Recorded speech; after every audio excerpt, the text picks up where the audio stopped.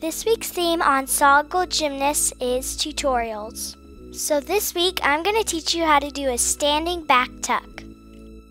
First I'll teach you the actual back tuck, then I'll show you some drills and progressions to get you where you need to be.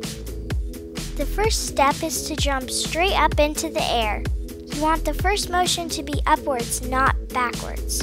So be sure not to throw your head back like this. This is because you'll get less height that way. After the set, you'll bring your legs up to your chest to start the backwards motion. There are different ways that you can do the tuck. You can hold your knees, you can hold under your knees, or you can keep your arms straight. Keep in mind that you want to rotate fast so that you don't land with your chest down. I'm still learning, so I haven't perfected that part yet. And at the end, don't forget to stick it. Now let's talk about some drills you can do to help you get the right form. First, get onto the wall bar and practice getting your legs quickly into the tuck position. Next, get a big block and practice setting and tucking back. This helps you practice setting straight and high before starting the backwards tuck motion. Now let's talk about progressions where you start with the easier back tucks and work your way up to the real ones. The easiest is doing a back tuck into the pit because it's an elevated surface with a nice soft landing.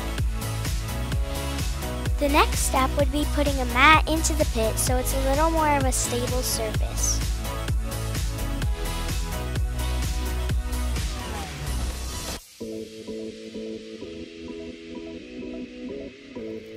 Another easy way to practice is on a trampoline. It gives you extra bounce and it's a softer surface for landing.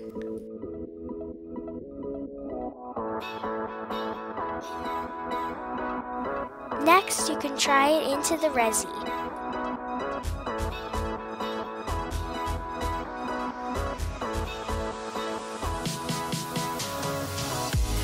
Eventually, you can take it to the floor, but use a panel mat to give you some extra height.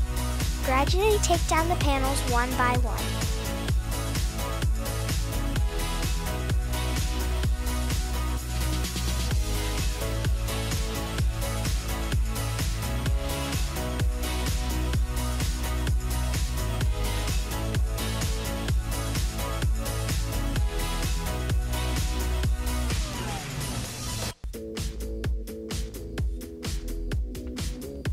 Before you know it, you'll be doing it on the floor for real.